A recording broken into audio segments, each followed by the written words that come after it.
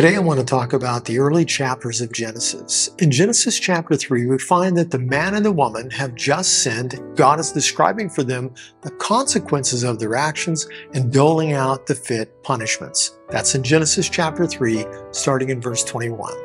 The angel of the Lord then blocks the entrance to the Garden of Eden. The term here for Eden is the Hebrew word Eden. It consists of three Hebrew letters. First, it's the Hebrew letter ayin. This is the Hebrew term for the eye. It means to see. The second is the Hebrew letter dalet. Then this Hebrew letter is the picture of an ancient door. The final letter here is the Hebrew letter nun. This is the picture of the fish which are moving in the water and it means life. These three pictures together indicate here it is, seeing the door of life. That's what Eden means. It means seeing the door to life. Now, after the first couple were ejected from the garden, they could no longer see the door to life. Now, humanity as a consequence has to walk by faith to embrace the one who will bring us back into the garden and into the presence of life.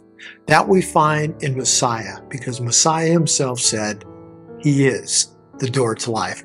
May you, may we this week embrace the one who holds the keys to life and death and is in fact himself the door to life.